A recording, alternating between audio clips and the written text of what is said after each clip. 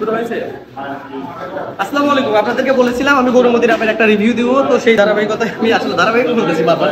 তো যাই আমি সেই কথা রাখার জন্য আমি একটা গরুমতি আম পাকাটা বেছে বের করেছি, খুঁজে বের করেছি। আপনাদেরকে একটু দেখাবো, এখানে আপনারা যেখান থেকে সরাসরি একদম গার্ডেন ফ্রেশ আমি একটু ভিতরে আসি আপনাদেরকে একটু রিল্যাক্সে নিয়ে আসলাম, আপনাদেরকে কেটে দেখাই। দেখেন। এটা এটা শক্ত পাকা, ফুল পাকা না, এখন অব্দি ফুল পাকেনি। এর জন্য এরকম হচ্ছে। আমি একটু কেটে দেখাই।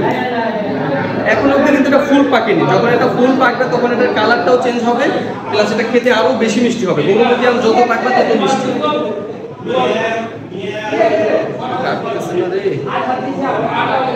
তো এই ভিডিওটা দেখার পর আপনারা যারা গরুমতি আম অর্ডার করতে চাচ্ছেন খুব দ্রুত অর্ডার প্লেস করে দিবেন। আমরা ফ্রেশ কোয়ালিটির একদম ফ্রেশ গরুমতি আম দিতে পারব।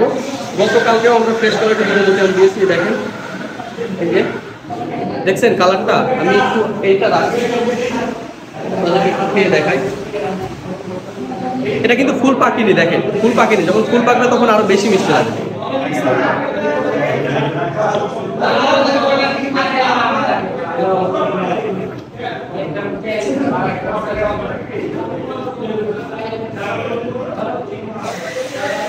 আসলে কি বলব?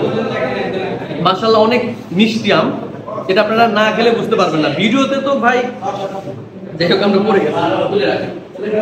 ভিডিওতে ভাই সবকিছুই শেয়ার করা যায় না, বুঝছেন? স্বাদ ফিলিংস এগুলো কেমনে শেয়ার করব? বলেন। আপনারাই বলেন। কি স্বাদ লাগে, আমি কীভাবে এক্সপ্লেন করব? এতটাই মিষ্টি আর এতটাই সুস্বাদু আম, এটা আমি ভিডিওতে আমি এক্সপ্লেন করতে পারব না ভাই। যারা আসলে স্বাদটা উপভোগ করতেছেন অর্ডার করে খেয়ে দেখতে হবে। আদারওয়াইজ এতটা এক্সপ্লেন করার মতন কিছু নাই। আমি আসলে অতটা এক্সপ্রেশন দিতে পারতেছি না। তবে আমি রিকোয়েস্ট করব, আবার যারা ভিউয়ার্স আছেন প্লাস যারা কাস্টমার আছেন, যারা অলরেডি আমার কাছ থেকে অনেক জাতের আম অর্ডার করেছেন গরুমতি আম তারা অর্ডার করেন। এখন সব থেকে বেস্ট কোয়ালিটির গরুমতি আম দিতে পারব, ইনশাল্লাহ।